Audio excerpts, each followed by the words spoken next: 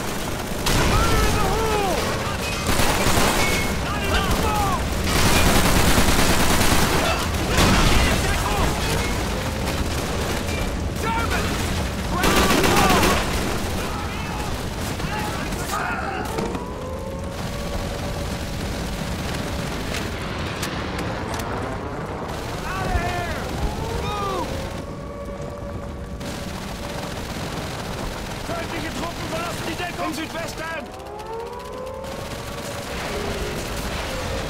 Sir, the intersection's pinned down good. There's no way through. But I saw a cafe and a butcher shop that might get us a fighting position.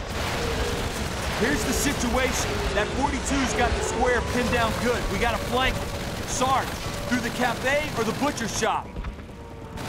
Sarge? Sarge! Damn! Nichols, you take point. Don't get caught out in the open.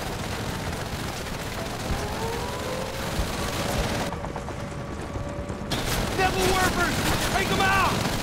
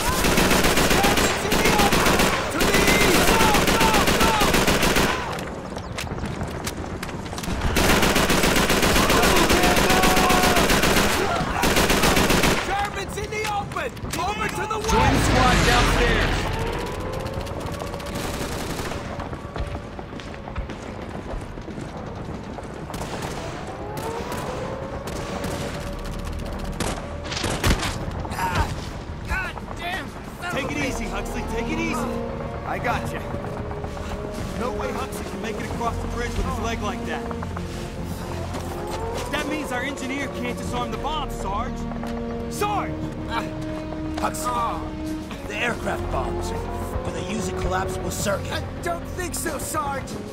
So, they're just regular UXBs? Yeah. Guzzo, you with me? Forget it. Dix, he's officially gone, Section 8. It's suicide. Maybe not. The Sarge was an engineer back in the day. Nick, cover the Sarge. Nice knowing.